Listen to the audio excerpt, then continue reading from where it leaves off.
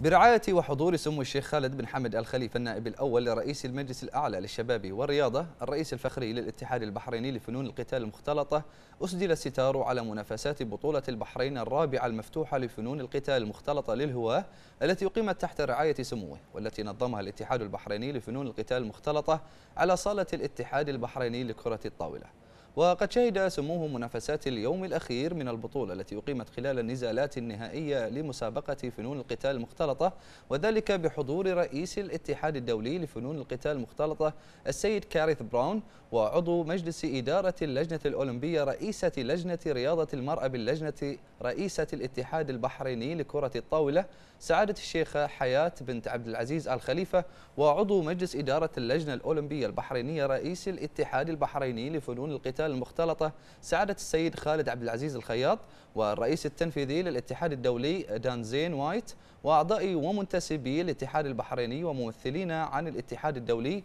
وجمهور من محبي وعشاق رياضة فنون القتال المختلطة. وبهذه المناسبة أعرب سمو الشيخ خالد بن حمد الخليفة عن سعادته الكبيرة بما شهدته منافسات اليوم الأخير من مستوى فني قوي من اللاعبين مشيدا سموه باللاعبين وبالمستوى الذي قدموه طيلة منافسات البطولة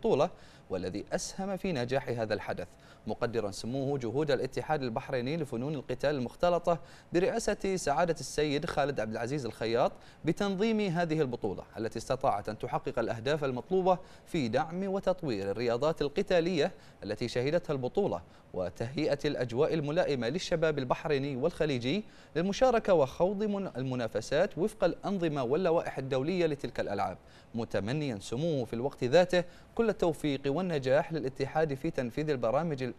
والفعاليات القادمة التي تحقق المزيد من التطور والارتقاء للرياضات المنطوية تحت مظلته. والتقى سموه برئيس الاتحاد الدولي لفنون القتال المختلطة السيد كيريث براون والرئيس التنفيذي للاتحاد الدولي السيد دينساين وايت حيث تبادل سموه معهما الحديث حول ما تمتلكه مملكة البحرين من قدرات كبيرة تؤهلها لاحتضان مختلف البطولات العالمية. مؤكدا سموه لهما أن البحرين على استعداد كبير لاحتضان وتنظيم النسخة الخامسة من بطولة العالم للهواة والتي ستقام في نوفمبر القادم.